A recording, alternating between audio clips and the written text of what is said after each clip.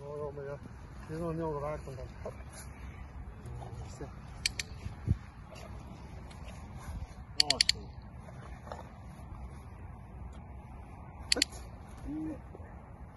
Okej.